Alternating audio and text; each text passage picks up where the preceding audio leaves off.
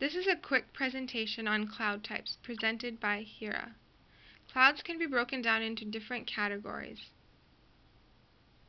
Cirrus clouds, alto clouds, stratus clouds, cumulus clouds, and nimbus clouds. Cirrus clouds are also known as high clouds. They, they are thin, have wisp-like strands, and are 23,000 feet above the Earth's surface.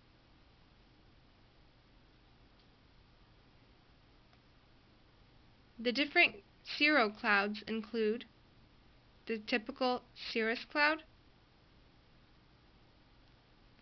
the cirrostratus cloud, which are high layered clouds, and cirrocumulus clouds, which are high rain clouds.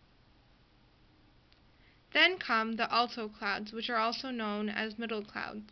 They occur from 6,500 to 23,000 feet above the Earth's surface. There are two types of alto clouds.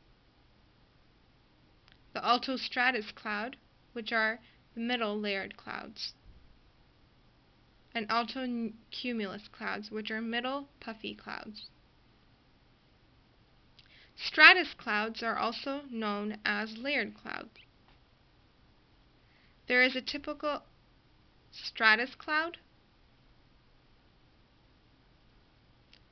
the altostratus cloud, which are middle layered clouds, stratocumulus clouds, which are puffy layered clouds, and nimbostratus clouds, which are layered rain clouds. Cumulus clouds are also known as puffy clouds.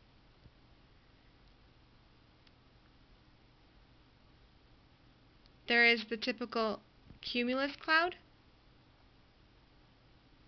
alto cumulus clouds, which are puffy middle clouds, cumulonimbus clouds, which are puffy rain clouds, and stratocumulus clouds, which are puffy layered clouds. The last type of cloud, the nimbus cloud, is the infamous rain cloud. The different type of nimbus clouds include the cumulonimbus cloud, which are puffy rain clouds,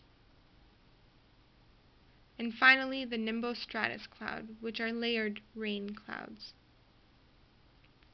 These were all the type of clouds. Thank you for watching this video.